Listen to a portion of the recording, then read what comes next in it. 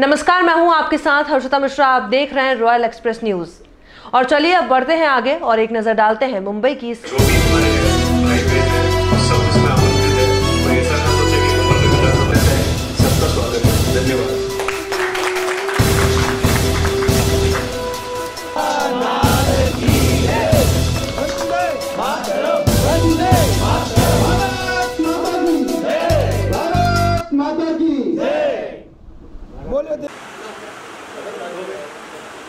समन district गोसुंडी panchayat. में प्रवासी मंच द्वारा एक प्रोग्राम आयोजित किया जा रहा है।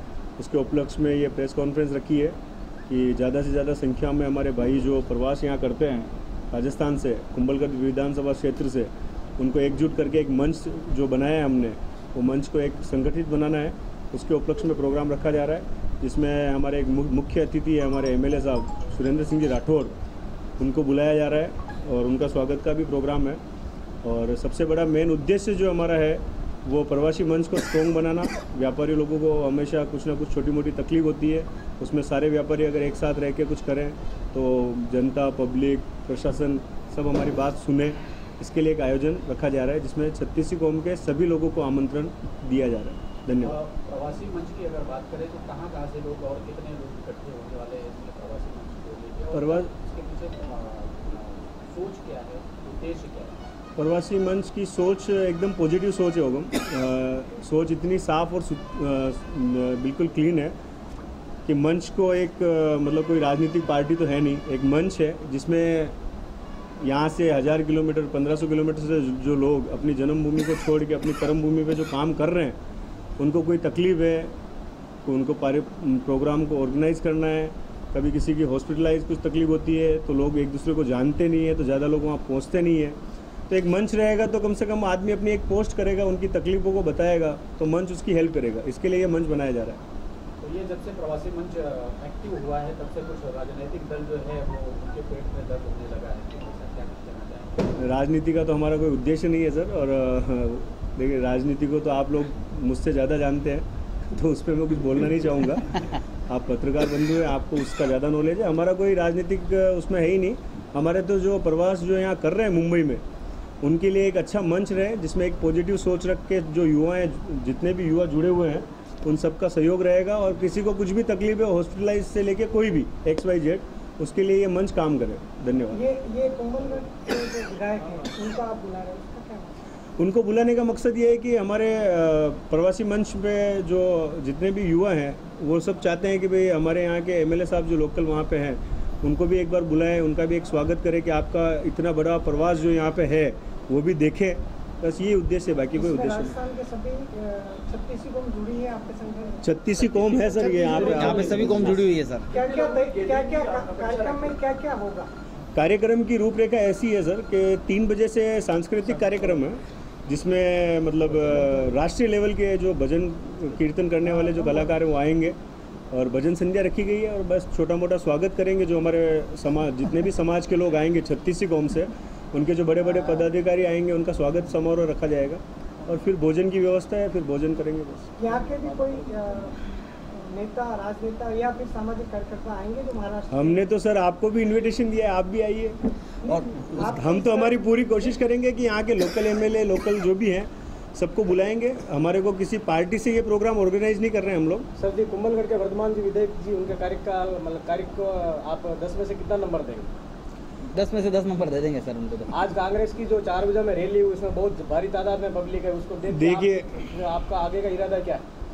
देखिए रैलियाँ कितनी भी हो आप सब भी जानते हैं एग्जिट पोल भी आप लोग ही लेते हैं। हमें तो क्या मालूम है हमसे ज़्यादा तो आप लोग जानते हैं। पब्लिक तो इकट्ठी होती है। अगर कोई स्टेट लेवल की पब्लिक में अगर एक आध लाख लोग इकट्ठे हो जाते हैं तो हो जाते हैं उसमें कोई बड़ी बात हाँ, नहीं। गोमती आमेट और आमेट सरदारगढ़ और ये जो देवगढ़ देवगढ़ से आमेट के जो रोड है वो बहुत बड़ा विषय है। उसके उपलक्ष्य अभी काम जो चल रहा है लेकिन उससे आप सेटिस्फाइड है क्या? नहीं ये सारी ये सारी बातें तो आप एमएलए साहब से पूछे तो बेटर है हम तो हमारा मंच है उस मंच की तैयारी करते सिंह फरारा, नवी मुंबई वासी। देखिए, हमने एक मंच तैयार किया है अभी, नया मंच से। पहली बार प्रोग्राम कर रहे हैं। और हमारा कुछ एक टारगेट है कि 10 से पंद्रह हज़ार की पब्लिक ये प्रोग्राम में शिरकत करेगी। और वासी नवी मुंबई में हमने ये प्रोग्राम रखा है। आयोजन का जिम्मा हमारे नीलमंगरा सरपंच साहब हिम्मत सिंह जी ने उठाया है। और बहुत भव्य प्रोग्राम रख रहे हैं। फ़र्स्ट प्रोग्राम है। और सभी भाइयों को ये आज निमंत्रण के लिए कॉन्फ्रेंस रखा है कि प्रेस कॉन्फ्रेंस इसीलिए कि मुंबई में जितने भी भाई विराजमान हैं, सभी को एक निमंत्रण है कि आप ज़्यादा से ज़्यादा पधारें और इसमें कोई ये नहीं कि कोई पर्टिकुलर एक ही जाति का संगठन नहीं है। छत्तीस कौम का संगठन है और छत्तीस कौम का आयोजन रखा है। तो सभी भाइयों को एक निवेदन है हाथ जोड़ के कि सभी भाई पधारें। धन्यवाद। एक छोटे से कॉल पे इतने लोग आ गए और कैसे धन्यवाद करेंगे। बिल्कुल अभी सभी छत्तीस कौम का प्रोग्राम है और भाइयों का ये तो प्यार है जो सभी एक कॉल पर पधारे हैं। और इसी तरह हम आशा और उम्मीद करते हैं कि हमारे कोई भी प्रोग्राम हो और इसी तरह अपनी उपस्थिति दर्ज कराएँगे। बिल्कुल। आप बोल रहे हैं कि जो आपका प्रवासी मंच है उसका राजनीति से कोई लेना देना नहीं। फिर आप तो भाजपा के बैनर के नीचे बैठे हुए हैं। लेकिन अब भाजपा के बैनर के नीचे बैठे अभी हमारे विधायक भाजपा से तो हम उनको इन्विटेशन देंगे। कांग्रेस के होते तो उनको भी बुलाते हैं। लगता है राजस्थान में इस बार भाजपा आएगी। सौ टका हंड्रेड परसेंट। भाजपा की राजनीति कैसे रही है पाँच साल बाद चेंज हो जाते हैं। नहीं नहीं राजस्थान में तो होता है लेकिन ये टाइम इतिहास बदलेगा। बदलेगा। इतिहास बदलते ही हमारे ही बदलने के प्रधानमंत्री से आप सब वाकिफ है और उनके काम बहुत अच्छे संतुष्ट है। मोदी जी के बल पे इलेक्शन लड़ रहे हैं इस बार। आप भी हालाँकि सब जानते हैं कि ये पूरा इलेक्शन मोदी के ऊपर ही चल रहा है। थोड़ा दर्शकों को डिटेल में छत्तीस के बारे में बताएँगे। कैसे मतलब? इसमें मैडम मतलब सभी सभी कम्युनिटी सभी समाज। सभी समाज इसमें जुड़े हुए हैं। हमारे प्रवासी राजस्थान से बिलोंग करने वाले सभी समाज इसके अंदर सम्मिलित हैं। हाँ। नहीं नहीं बेसिकली अभी तक मुंबई में बन रहा है जिसमें मतलब पूरी जो छत्तीस कौम का ऐसा पहले कोई संगठन नहीं था अभी से पहले। ये पहले ही एक ऐसा बन रहा है जिसमें हर जात के पूरा राजस्थान के हर जाति समाज के लोग आवे जुड़े और एक तरह नहीं तो अपने अपने पहले इससे पहले राजपूत अलग वो अलग वो अलग जैन अलग ऐसे अलग अलग सबका संगठन पहले से चल रहा था। लेकिन एक पहला एक ऐसा संगठन है जो सब समाज को साथ में लेकर सबको एक साथ लेकर बड़ा संगठन अच्छा सब एक दूसरे के सुख में काम ऐसा संगठन बनने जा रहा है।